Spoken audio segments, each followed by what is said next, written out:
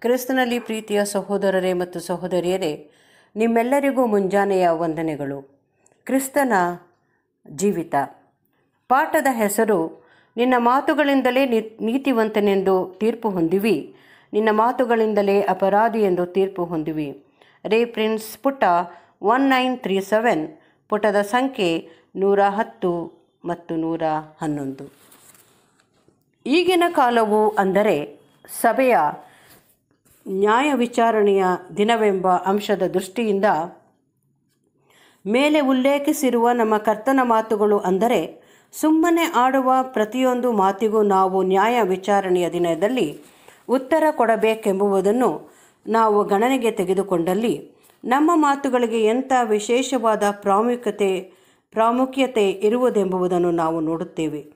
ನಮ್ಮ ಮಾತುಗಳೆಲ್ಲವೂ ನಮ್ಮ ಹೃದಯದಲ್ಲಿ ತುಂಬಿರುವ ವಿಷಯಗಳಿಗೆ ಸೂಚಕವಾಗಿರುವುದೆಂದು ಕರ್ತನು ಪರಿ, ಪರಿಗಣಿಸುವನು. ನಮ್ಮ ಮಾತುಗಳು ಬಂಡಾಯವೆಬ್ಬಿಸುವ ಇಲ್ಲವೇ?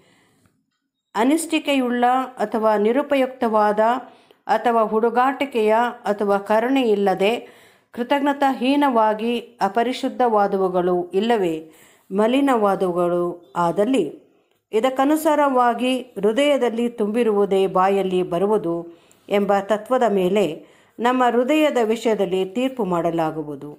ಹೀಗೆ ನಮ್ಮ ಅನುದಿನದ ಜೀವಿತದಲ್ಲಿನ ಎಲ್ಲ ಸನ್ನಿವೇಶಗಳಲ್ಲಿ ನಮ್ಮ ಬಾಯಿಂದ ಬರುವ ಮಾತುಗಳು ನಮ್ಮ ಹೃದಯದ ಸ್ಥಿತಿಗೆ ದೇವರ ಮುಂದೆ ಒಂದು ಸತತವಾದ ಪ್ರಮಾಣವಾಗಿರುತ್ತದೆ.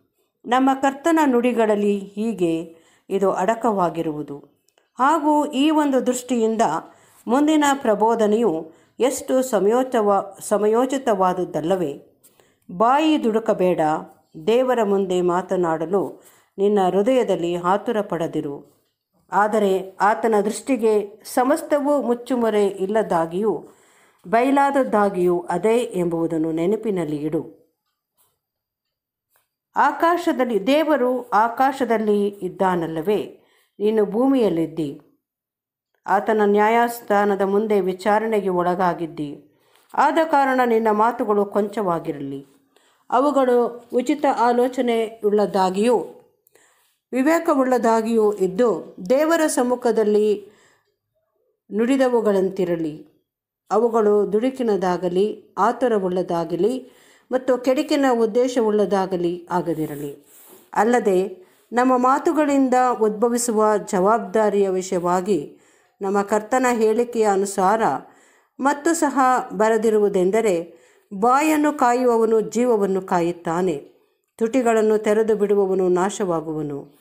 ಕೆಡಕಿನ ವಿಷಯಕ್ಕಾಗಲಿ ಅಥವಾ ಹುಡುಗಾಟಿಕೆಯ ರೂಪದಲ್ಲಿ ಆಗಲಿ ಅಲುಗಾಡುವ ನಾಲಿಗೆಗೆ ಎಂಥ ಭಯಾನಕವಾದ ಹೊಣೆಗಾರಿಕೆಯನ್ನು ಸೇರಿಸಲಾಗಿರುವುದು. ಅದು ದೇವರಿಗೂ ಸಹ ಅಗೌರವ ತರುವಂಥದ್ದಾಗಿರುವುದು. ಮತ್ತು ಅಪೋಸ್ತ್ರನಾದ ಪೇತ್ರನ ಈ ಆದೇಶವು ಎಷ್ಟು ಅವಶ್ಯ? ಆದುದರಿಂದ ನೀವು ಜಿತೇಂದ್ರಿಯರಾಗಿಯೂ ಪ್ರಾರ್ಥನೆಗೆ ಸಿದ್ಧವಾಗಿರುವಂತೆ ಸ್ವಸ್ಥಚಿತ್ತರಾಗಿಯೂ ಇರ್ರಿ.